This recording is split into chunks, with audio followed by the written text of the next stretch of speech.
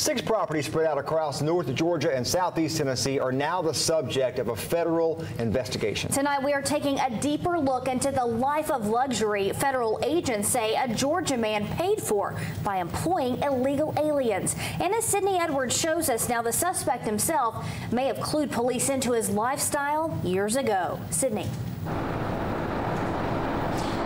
That's right. Now, this has been an ongoing investigation for years now. In fact, Perez might have tipped agents off back in 2015 after one of his own employees got in a car accident and he went through a deposition. This is our first look at the man suspected of employing nearly 200 illegal immigrants. This is the only photo on record of Juan Perez from an arrest in Bartow County in 2015 when he was caught driving with a suspended license. Perez is suspected of paying those employees low wages without benefits and keeping the money he owed for taxes for himself. Now, this home and five other properties under his name are under investigation. This aerial shot shows the home federal documents say Perez, his wife Ava Torres, and their children lived in in Rydal, Georgia. This federal search warrant says he kept firearms here. Today we went to his Hixson address, a home and back garage that is listed as another Aztec business site. Neighbors say they often saw large parties of people in the yard.